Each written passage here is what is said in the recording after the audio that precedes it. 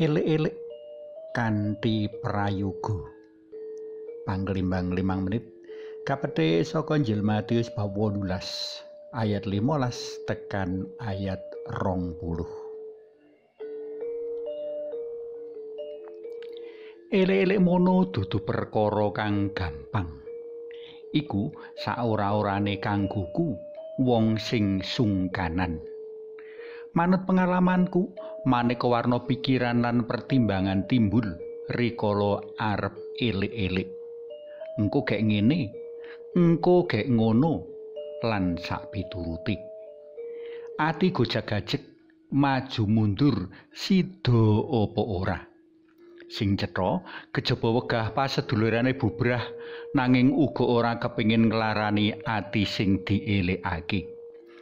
Ora sithik wong kang elik-elik nemahi piolo awit saka tumindak ili-ilike mau. Santo Yohanes Pembaptis umpamane. Panjenengane kudu nemahi pati kang prihatinake marga kumawani ili-ilik Herodes kang mengku kuwasa minangka raja wilayah Yahudi.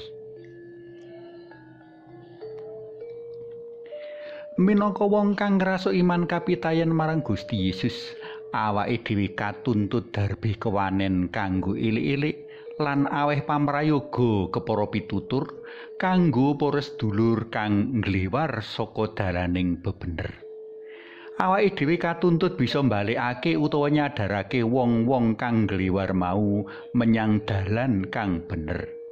Jer tresno asih mono ora ngejarake sedulur lumaku tumuju ing kacintrakan.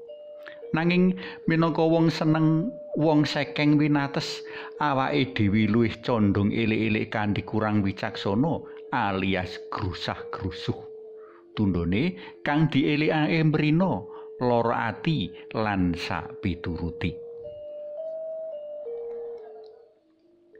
Dina iki Gusti Yesus paring piwulang becik kanggo kita kepriye bisa elik-elik liyan kang luput kanthi prayoga.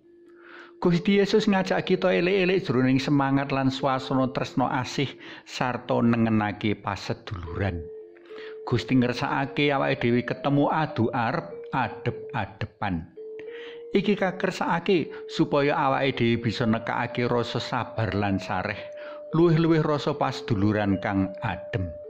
Kaajab, wong kang kaelekake bisa nampa pamrayoga kita. Nanging menawa pranyata kang dielekake sing berkunung, prayoga kaajak katemu bareng sedulur liya amrih kang luput antuk tambahan keyakinan menawa tumindake pancen luput.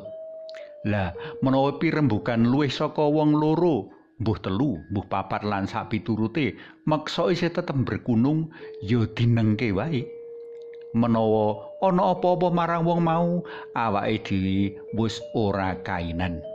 Luwih saka iku, pamrayoga dalem Gusti iki sak temene ngemu kersa, awake dhewe ora waleh-waleh anggone kupiyo elik-elik, jer kita menu pancen ora kalis saka sing jenenge luput lan lali.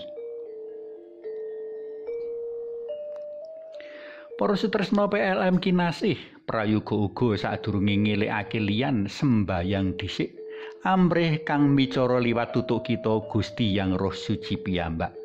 Kita suwun marang panjenengane supaya ngempukake atine sedulur kang bakal padha kaelekake. Luwih saka iku, kita suwun supaya kita uga bisa ngendhaleni diri ora gampang kepancing utawa kebrongot mring sikap kang kurang prayoga. Saiki ayo padha munjuk. Kunjungan semotalem yang Romo yang putra tuwin yang roh suci. Amin. Sri Yesus kawula menji sembah nuwun awit saking piwulang pangenget-enget panjenengan.